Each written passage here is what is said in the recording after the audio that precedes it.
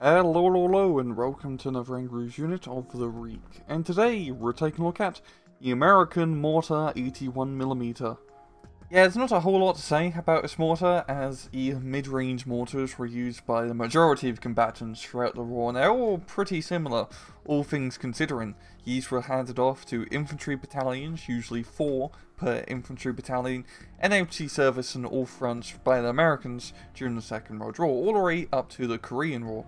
They were especially useful in the Pacific as it was pretty difficult to get larger howitzer guns onto your small Pacific islands. In-game, the Mortar 81mm is a 60 point mortar available exclusively to the American 2nd Infantry Division, and it has rail 1 weapon.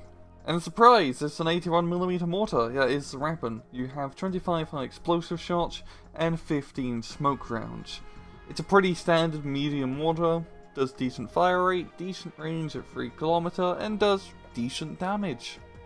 Down to the miscellaneous stats, this thing does have a radio which is extremely useful. It's a 5-man crew with normal optics, medium stealth, and light cargo space. So in battle, I tend to find that mid-range mortars such as this tend to be some of the most useful artillery pieces that you can get in the game.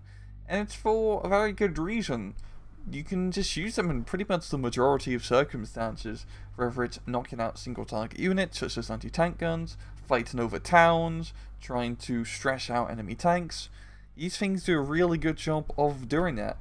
They got a decent amount of ammunition, decentish range, 3 kilometers isn't a cross map range like a regular howitzers, but you can still touch something from a far distance at 3 kilometers.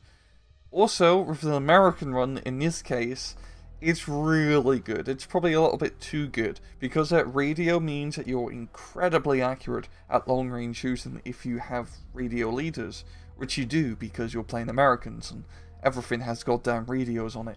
So you're just going to be doing constant artillery strikes that are extremely accurate and that's going to be a huge pain on the enemy. You can get a lot of these mortars and 2nd Infantry, and they're relatively cheap for 60 points, and you got a good amount of supply as well to keep them nice and armed.